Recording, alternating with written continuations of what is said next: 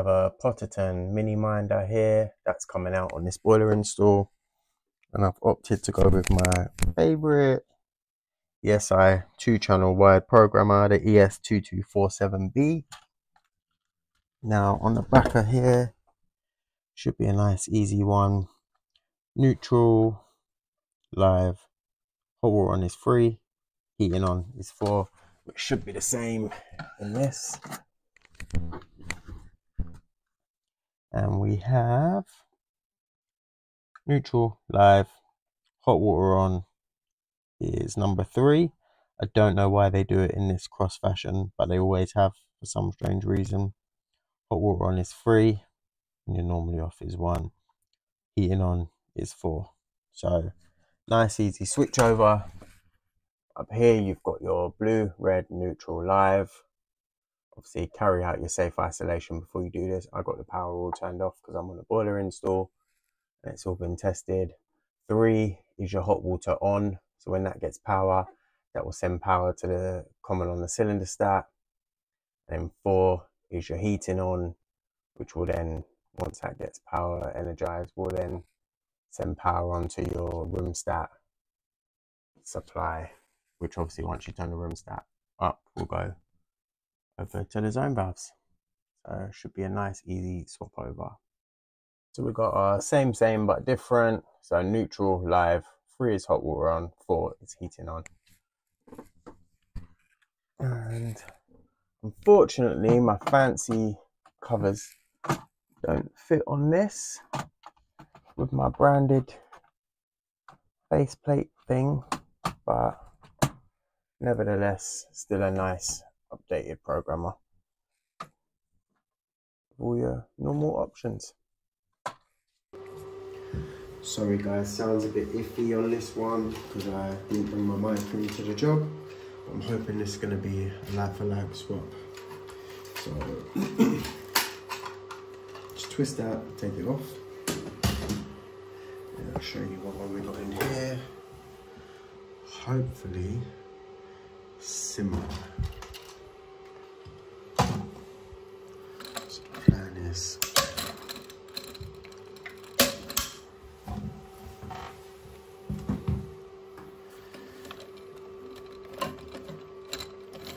twist.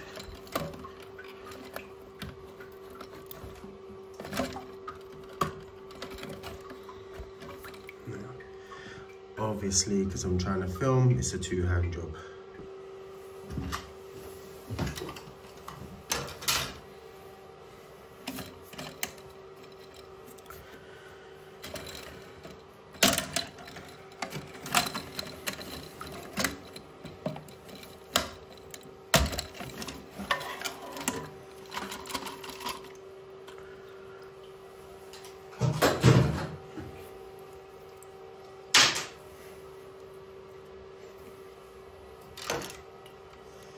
And this should slide straight in. So they tell me, all the, all the other plumbers, but actually let me check what setting we want this on. Oh, see there, we've got little letters. You have to set it on the right one.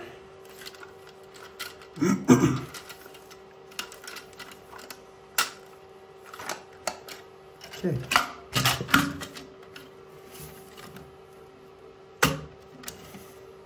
That's it.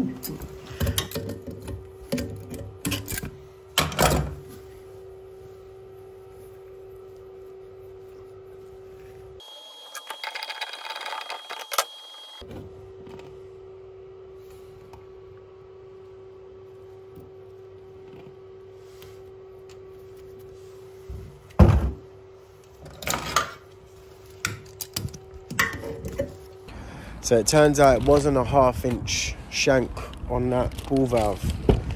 Um, ball valve, the float valve, fill valve even, gosh. Um, yeah, I've never seen that type and the hole is too small to fit a half inch. So I've got this Viva one from Toolstation which comes with a half inch and a 3 eighths. So I'm hoping it's that. Fingers crossed. So here's the old one and let's see if that's the same size.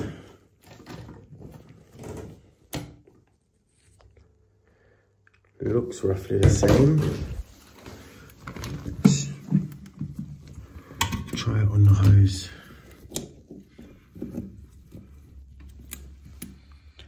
That's the one. So this just screws into the bottom. And you can either have 3 eighths or half inch. It's quite handy. That's a Viva, I believe. Viva Skyflow. So that's all in.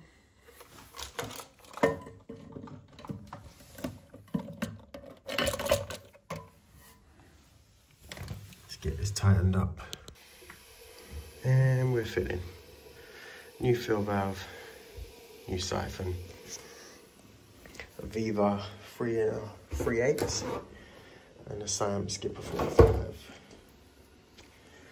Must say, at She Plumbs, Kelly told me this was the one I needed to order, so that saved me, so thank you. I absolutely love these Knipex twin grips. They're so handy for stopcocks especially.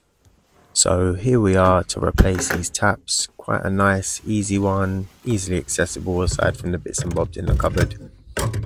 They've got the old copper tails rather than the flexi pipes. So usually you end up having to cut these out because you can't really squeeze them through the hole. But nevertheless, not too bad. These ones are actually better as they're on a compression. I do often come across these where they're soldered onto the main feed pipes coming in, which just a bit more of a pain. But yeah, they're not too bad either way.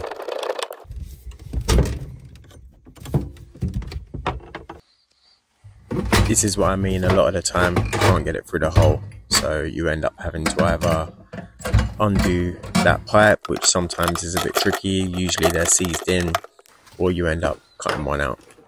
Now let's put the new taps together. Usually when you buy taps, you'll get the same bits with them. You'll get two flexis for your hot and cold. You'll get the little fittings pack, which has like a D locking ring, I call it. I'm sure that's probably not the technical name. But also, this little trick here, I couldn't get hold of any flat-faced ISO valves or flat-faced compressions, but someone told me SC plumbing and heating that you can use rad tails, which makes complete sense. Don't know why I didn't figure that out before, but you live and you learn. None of us know it all. So yeah, that's handy little tip. And then obviously the tails can just go straight onto a normal compression. Generally, you only need to put the flexis in hand tight as well. You, they've got two little O-rings on them, so they're pretty pretty solid. So hand tight is normally okay. Sometimes I nip them up a little bit if they've got the like flat face, as you just saw on these ones. And you can do it. Also, on this little threaded bar here, there is a flat-headed slot for your screwdriver to make that a bit easier to go in as well.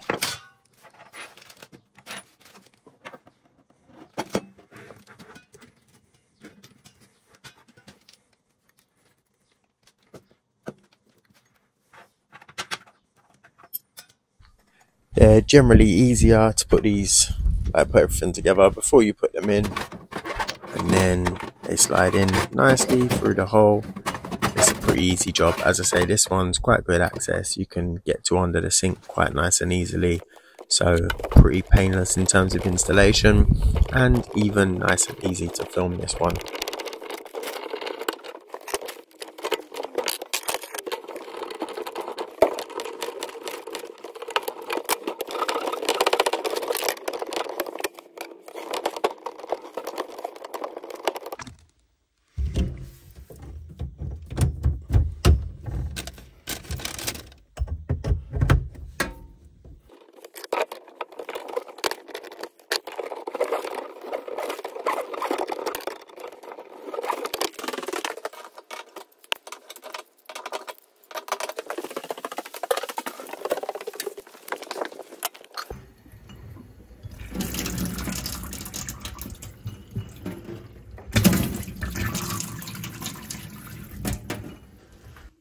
So I've come to a pro where they've had a smart meter fitted and they have found an 8 millibar drop. So I am here to test it and see if that is the case. We've got meter, fire,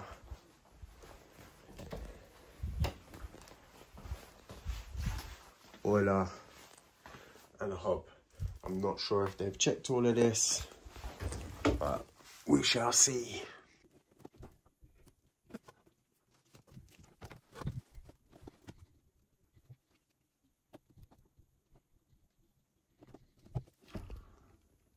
So instantly we can see that dropping. I reckon that's a lot more than 8 millibar in two minutes to be fair.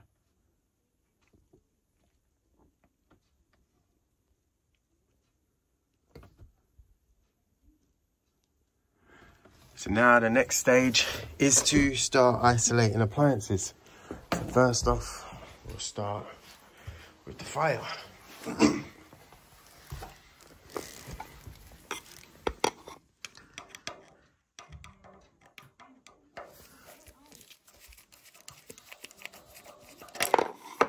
hopefully it's on an appliance.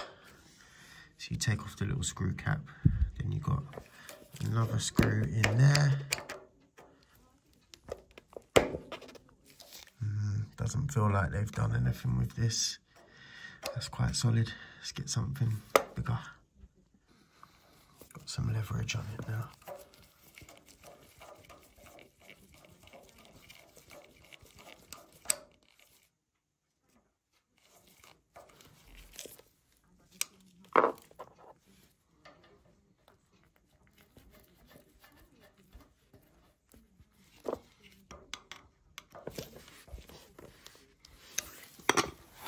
That shut off now. Hmm. Doesn't look great anyway. I wonder when she last had this serviced. Hmm, I wouldn't be happy with keeping that one anyway, really. Without being tested. So let's go back to the meter. I didn't set that exact. I just want to see if it's dropping first. Yeah, still dropping the same amount. So it comes out of the meter straight into this barrel straight into the floor. So it would be a new gas run. Let's go and isolate the boiler, then the hob.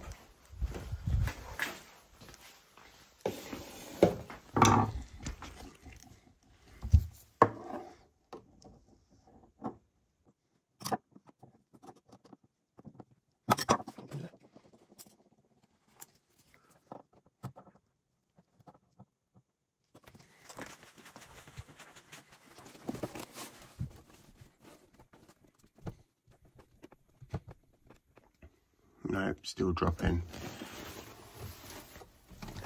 So now I have isolated the hob boiler. Hob was the last one and the fire. Nah, still getting a drop.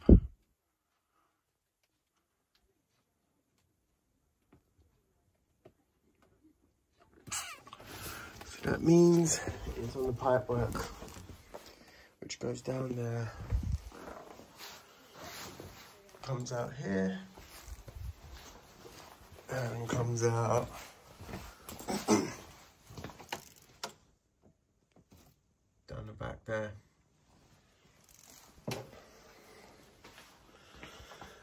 New gas run it is. Obviously I'll test the visible joints first, LDF. There's no smell of gas, something leaking that much would be pouring out, but for the interest of doing the job properly, We'll test that and then talk about a new gas run. No success today, guys. Just to prove the cap's back in the outlet and no drop. So it's going to be under the floor, which is concrete and laminate. Concrete under laminate. So likely to be surface level for someone. I don't think I'll be doing this one. I need it done ASAP and I haven't got the time.